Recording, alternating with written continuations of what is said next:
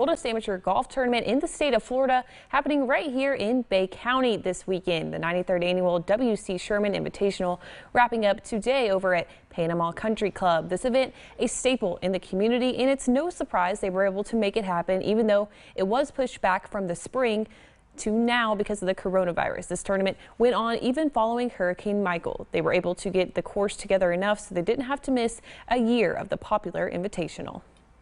We have people just come from all over. There are people from South Alabama, South Georgia, and we have 165 participants. We have some really good golfers. We've had former state amateur champions and uh, people shooting well under par. Some really good competition. Golf, of course, a sport that's been able to be played throughout the pandemic. They're able to social distance out on the course and we're even able to keep it to one golfer per cart.